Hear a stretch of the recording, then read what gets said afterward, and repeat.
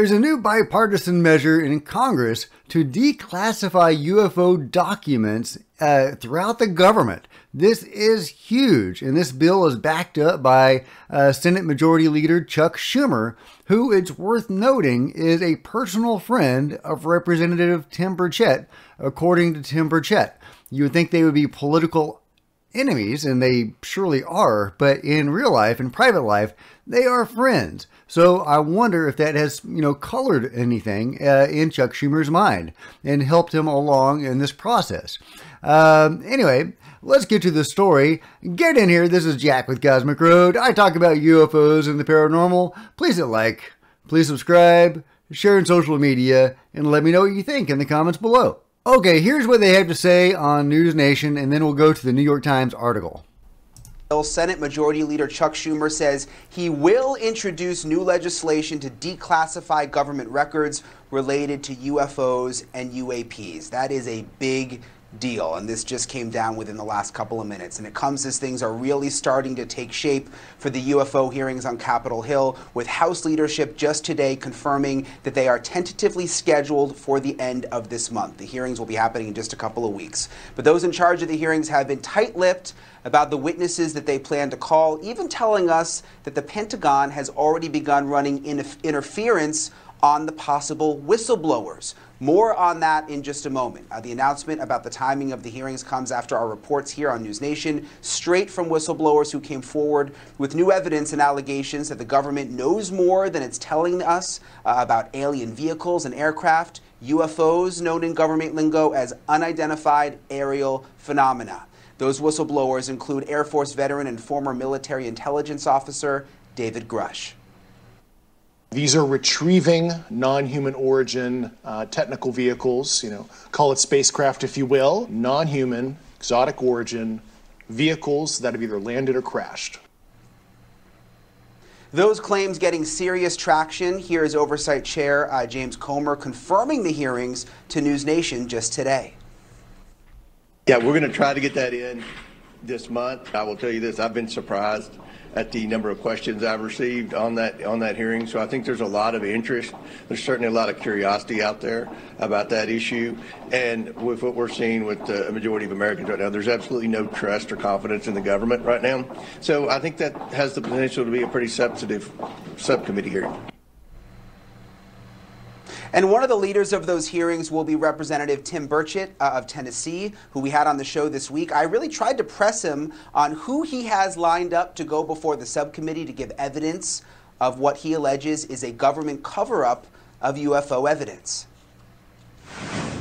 I know you don't want to give away much. Can you give us just a little hint of what to expect with the hearings? I mean, are, do you have multiple people well, lined up at this yeah, point? Yeah, I mean, I'm, we're, yeah, it's going to be, I would hope, a half a dozen people. We're going to have some people that uh, I would hope from the scientific community. We're going to hopefully have some pilots. We're going to have to have some whistleblowers, um, some others. But you know, as soon as I announce that the Pentagon puts a squeeze on them, which we've already they've already started with some of our alleged witnesses. So we're going to keep it pretty close to the cuff. And then when we release it, it'll be public record to everybody because I'm not going to play the secret game. Okay, uh, yeah, that was interesting, and it's uh, always uh, worth uh, you know finding out about the Pentagon shenanigans and how they are, um, you know, attempting to uh, put a cog in the wheels or the you know uh, throw a monkey wrench into the gears, um, rather of this hearing. So, I guess that I would be surprised if they didn't but it is alarming that they are even trying to interfere with congressional actions.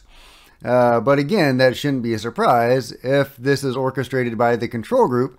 If uh, you know, if that is who is trying to interfere with these witnesses, then you know their reach is vast and broad, and they don't really have a whole lot of moral qualms like uh, you know, you know we would we would hope the government would have.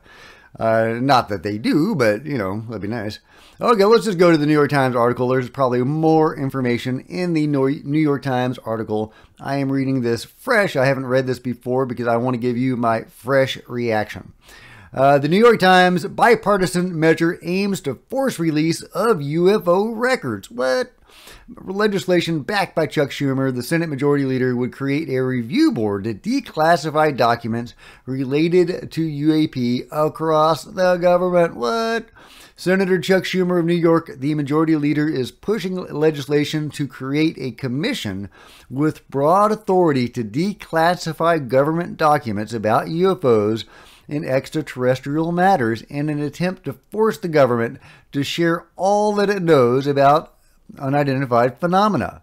Now, I have to point out that this article was written by our friend Julian Barnes, who wrote the well known debunking piece not long ago. So has he changed his tune? Is uh, you know, what's going on there? Is even the debunker forced to cover this? Is he gritting his teeth while he's writing it? Or will he try to pepper in little debunkings as we go? We will find out. The measure offers the possibility of pushing back against the conspiracy theories that surround discussions of UFOs and fears that the government is hiding critical information from the public.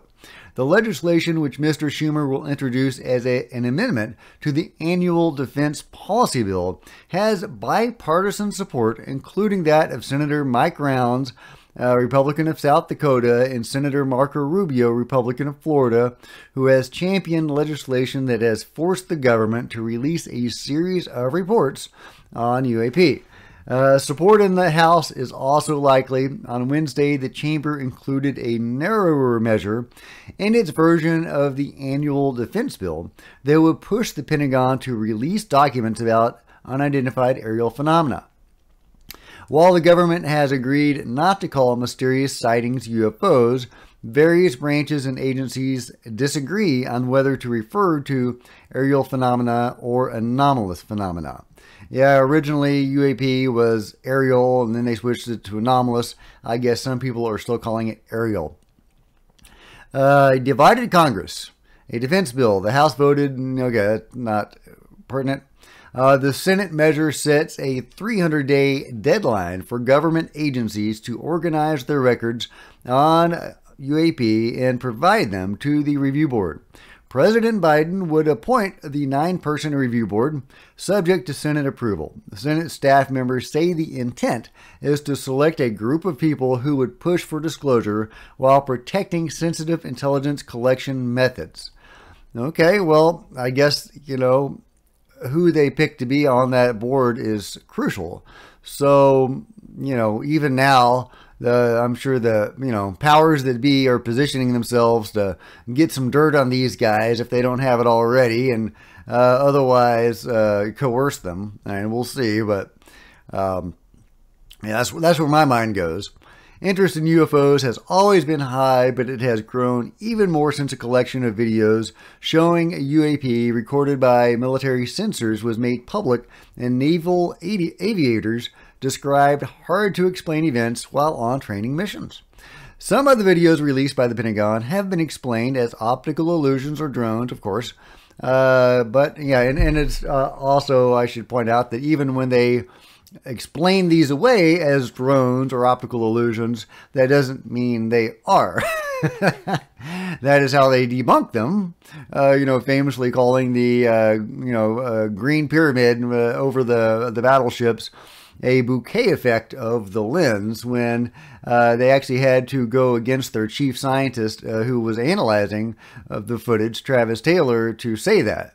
They went with the Mick West explanation of the flying pyramid, um, not that of their actual scientist who was presumably paid to analyze this footage.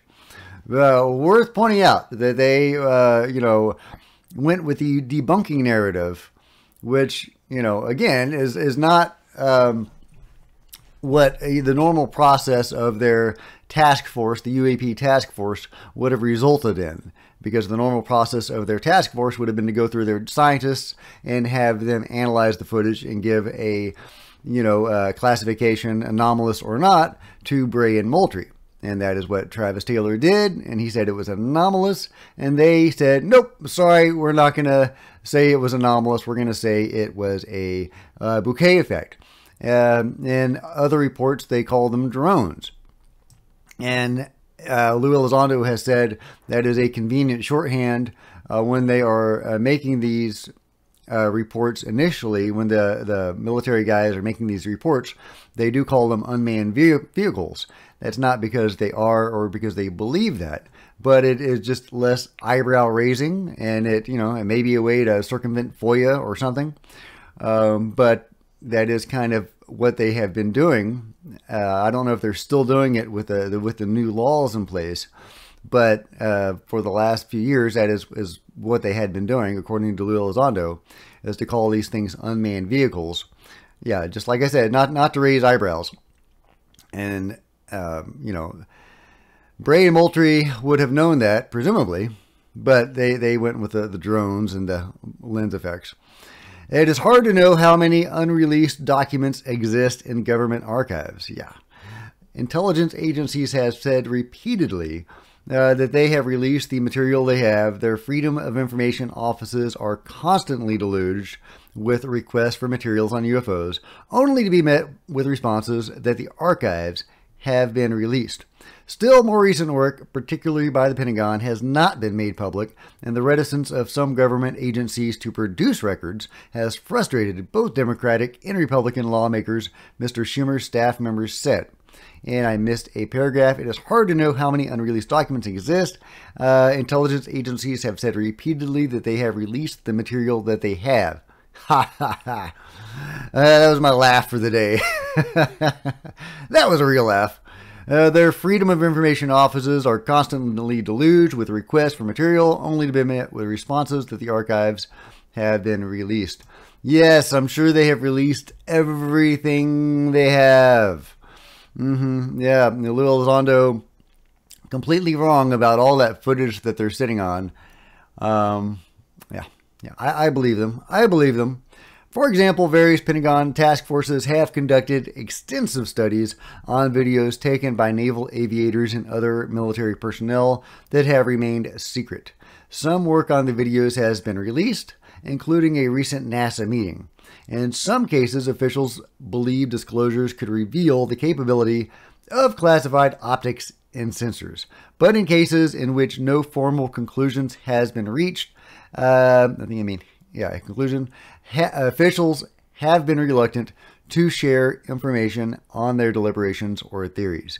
It is the reluctance to share all that is known about the incidents that are not completely understood that has fueled endless speculation on social media. Okay, it was getting a little long winded, so I skimmed a little bit. Here's a relevant portion. Uh, under Mr. Schumer's legislation, the president could decide to delay material the commission has chosen to release based on national security concerns. So, yeah, uh, they can use this national security concern language to, you know, just hold back anything they want to. I mean, what is a national security concern, right? Is it mass hysteria? Is it the public finding out the truth about the reality of the world or the cosmos in which we inhabit? Is that a national security concern? Is it finding out all the crimes that the control group and related uh, entities have, you know, committed over the years in pursuance of this cover-up? Is that a national security concern? So yeah, you can see where I'm going with that. Um, you know, so even if this gets passed and even if it works, they can still hold whatever they want back. Mr. Biden, unlike former President Barack Obama, has not directly addressed the issue of unidentified phenomena, but Mr. Biden did order two unknown objects in a Chinese spy balloon to be shot from the sky. Actually, there were three objects. One of them was in Canada, but I guess he didn't order that, although he must have Somebody must have authorized the use of U.S. jets to shoot it down. Uh, maybe that was NORAD, and they were the ones that did it. Afterward, the president said that he would not apologize for shooting down the spy balloon and that the U.S. would continue to adapt its approach to dealing with unknown objects. So, uh, yeah, we still don't know about those other three objects. That first object was a spy balloon. I, you know, I don't know what the other three objects were. I, I, I don't know if they were UFOs. I just think it's very interesting that although they released uh, videos and photos of the first object, they did not do so for those other three objects. And uh, they have withheld information on that. At first, they said they were discontinuing the hunt for the debris from those objects. And then later we found that they were actually continuing to try to re- re- retrieve material from those objects. Well, you know, all of which, you know, leads to very conspiratorial, you know, thinking, right? So if they were simply balloons, why not just uh, tell us they were balloons? I mean, you know, we would buy it, right? We're, we're you know, the, the first one was a balloon, you know. Uh, so I, I'm really curious about those other, those balloons, right? So anyway, uh, you know, I, I don't mind if they're simply balloons. I, I've always found it weird that we're able to shoot down genuine UFOs, but there's there's a lot of evidence that we have indeed shot down real UFOs. But let's look at that second to last paragraph again.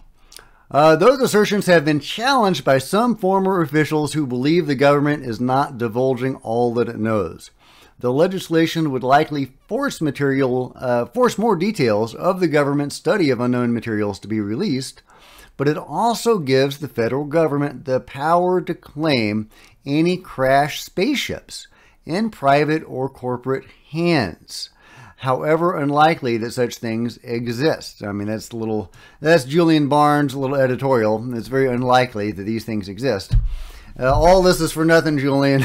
uh, okay, but uh, but yeah, so um, so yeah, so this would uh, allow the federal government to reclaim this stuff from Lockheed Martin and whoever else has it. And I think that is a very interesting detail in this proposed legislation. So, you know, I don't know what that means exactly. Could it mean that it could all get swept under the rug?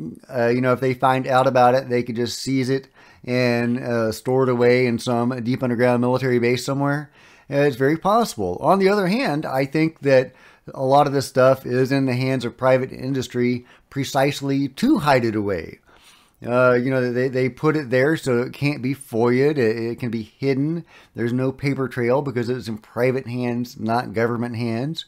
However, possibly the spotlight would have grown too intense, and um, you know they would feel the feel the need to put it somewhere even more secure, uh, not just hidden by uh, you know a lack of a paper trail, but you know deep underground somewhere, some secure facility facility.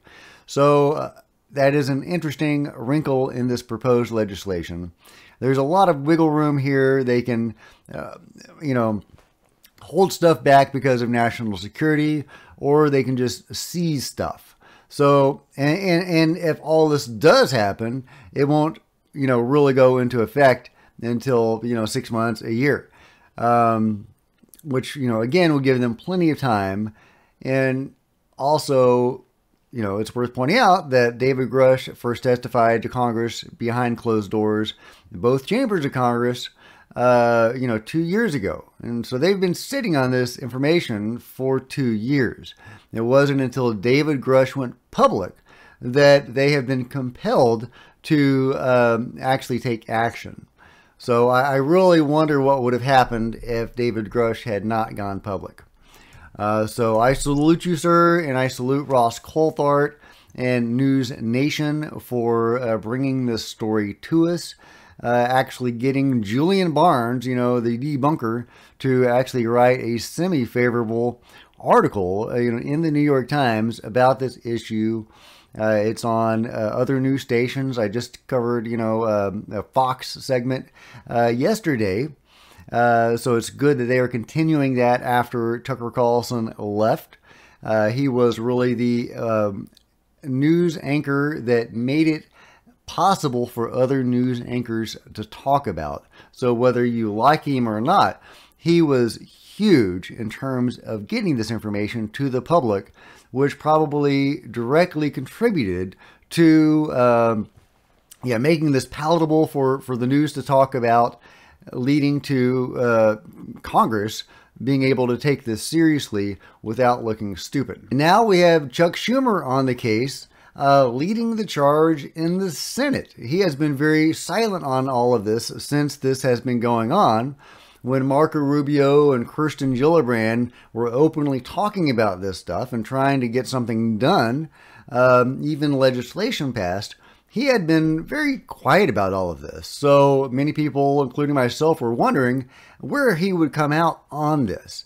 Um, I was surprised to learn in an interview with Tim Burchett that they were buddies.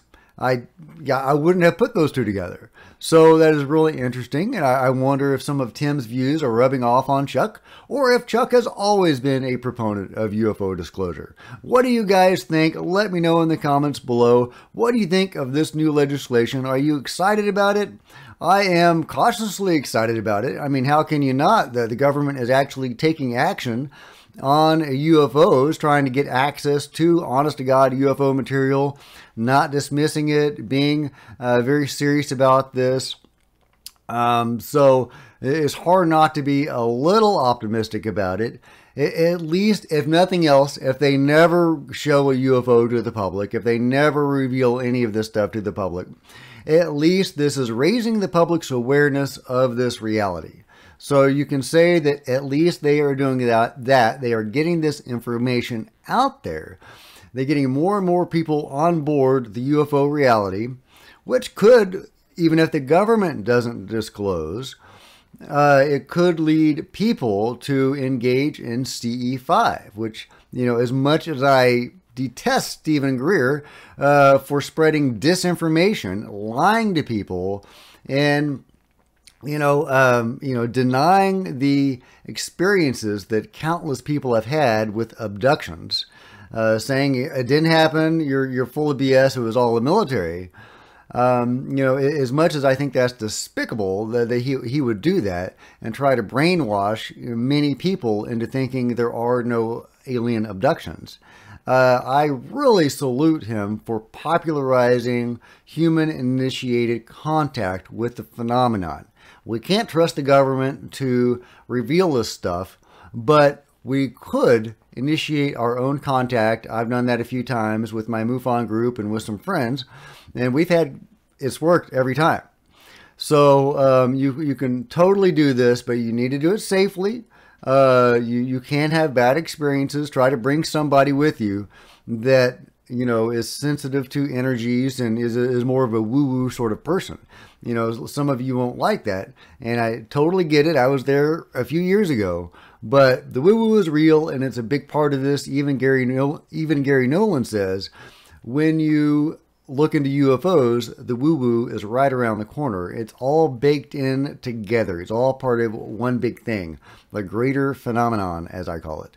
So, um, so yeah, so CE5 is key, and I salute Steven Greer for popularizing human initiated contact even developed the app for it so uh, so yeah so this whole thing that is going on right now with legislation is raising public's awareness and it could get more people involved in initiating their own contacts with the phenomenon.